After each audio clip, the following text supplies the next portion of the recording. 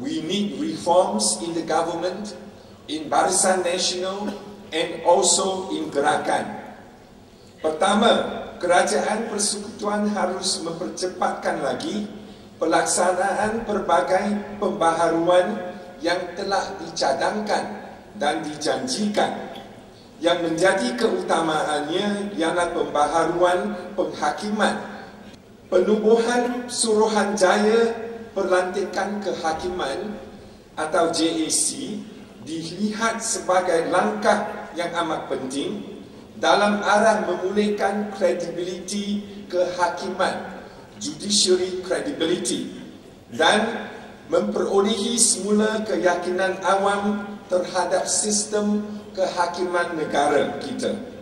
Gerakan ini mencadangkan selain daripada pelantikan hakim-hakim, JAC juga perlu menguruskan aduan-aduan terhadap hakim dengan cara yang bebas dan profesional. Lebih penting lagi adalah perlu untuk memulihkan kebebasan kehakiman independence of the judiciary dengan meminda perlembagaan persekutuan dan undang-undang lain yang berkenaan. Penahanan beberapa orang di bawah Akta Keselamatan Dalam Negeri ISA Ni Anfali baru-baru ini telah meyakinkan orang awam bahawa ISA telah disalahgunakan. Ia telah menjejas eh, menjadi liability kerajaan.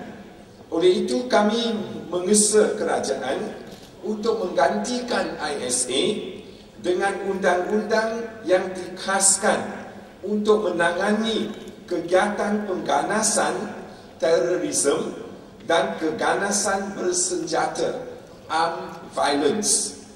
Kami juga menggesa kerajaan untuk membebaskan semua tahanan ISA yang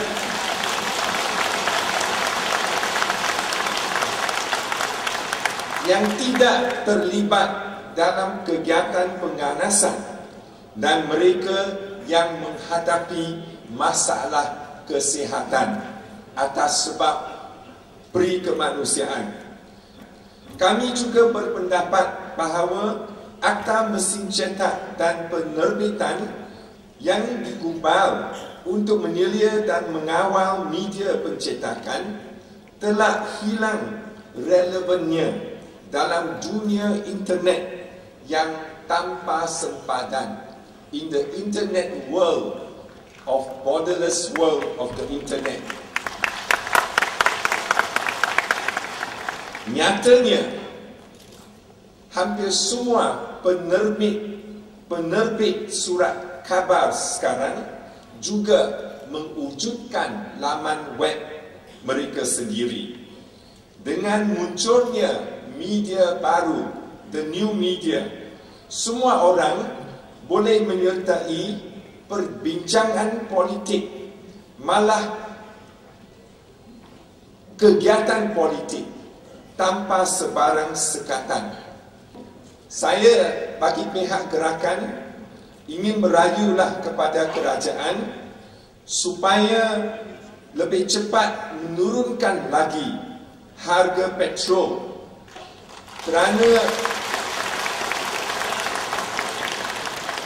kerana harga minyak sudah turun ke paras dolar Amerika 82 sekarang satu sekarang dan uh, saya juga ingin mencadangkan bahawa harga minyak diubah atau dipindah sekali tiap-tiap minggu dan bukan sekali tiap-tiap bulan.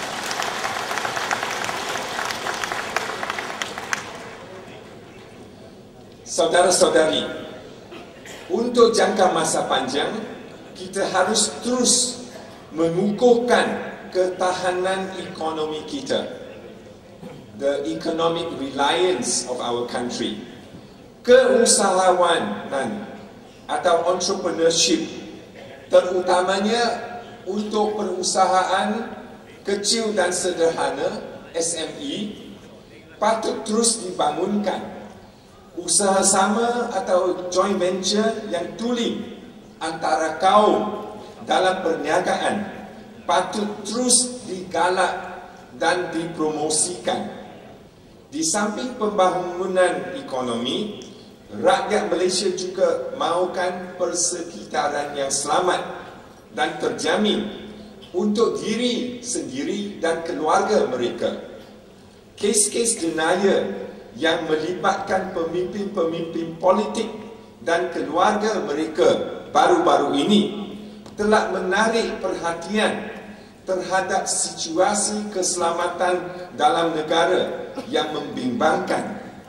Oleh itu, gerakan menyokong janji Perdana Menteri untuk menubuhkan suruhan jaya khas bagi menerima dan menguruskan aduan-aduan terhadap agensi-agensi penguatkuasaan termasuk polis.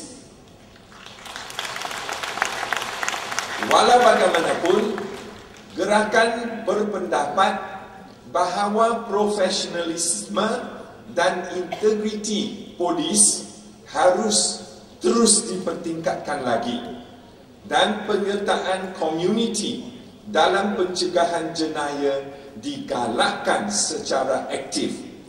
Kepelbagaian etnik dan kebudayaan kita sebenarnya merupakan satu aset dan kekuatan kita yang tidak ternilai. Ini sering dikata-katakan oleh ramai pemimpin kita. Malangnya, dari masa ke semasa, ahli-ahli politik yang tertentu menjadi ekstremis. Kebanyakan demi kepentingan politik dan diri sendiri. Kelakuan dan percakapan mereka telah menimbulkan ketegangan di antara komuniti malah di antara parti-parti komponen BN. Ini adalah kes umpama nilai setitik rosak susu sebelangga. Pada masa yang sama, terdapat juga kes-kes diskriminasi dan bias dalam pelaksanaan dasar dan pentadbiran kerajaan. Ini telah juga menimbulkan ketidakpuasan terus membangkitkan sentimen perkauman.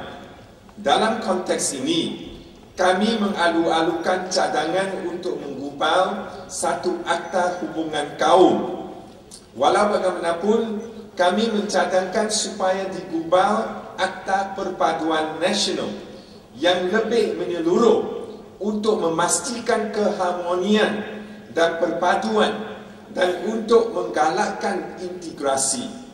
Akta yang dicadangkan itu haruslah mengandungi peruntukan untuk tindakan undang-undang dan hukuman ke atas sesiapa yang mengamalkan diskriminasi dan mengancam hubungan di antara kaum.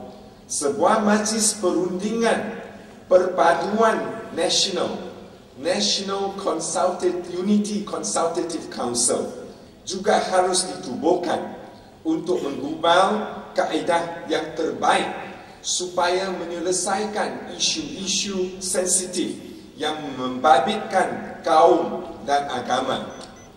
Saudara-saudari, untuk merealisasikan berbagai pembaharuan ini adalah amat mendesak untuk melakukan perubahan dan pembaharuan barisan nasional.